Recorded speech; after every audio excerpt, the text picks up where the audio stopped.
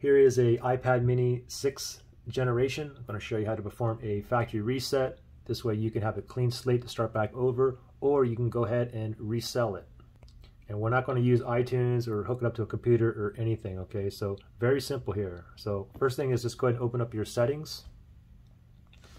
Going to go to settings and then from here on the left pane here, just scroll down and we want to go to general. So tap on general and now second to the bottom here it says transfer or reset iPad. So tap on that.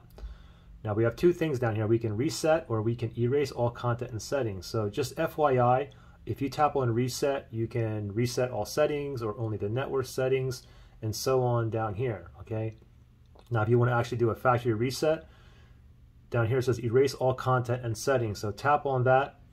Now take note, if you have anything important on here, you know, you want to go ahead and back it up before you do this because everything is going to be erased. So from here, if you want to proceed, we can go ahead and tap on continue right here. Go ahead and put in your passcode. After you do that, you get a message here. Are you sure you want to continue? All media, data, and settings will be erased. This cannot be undone. So for me, I want to definitely go ahead and erase this iPad right there. Let's tap on that.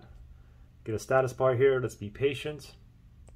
It's booting back up now. Now we should get another status bar here and one moment.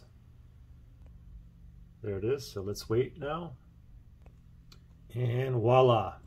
Basically as if we just bought this brand new and took it out of the box. So from here you can go ahead and start back over with a clean slate or you can go ahead and just sell it. All right. Good luck.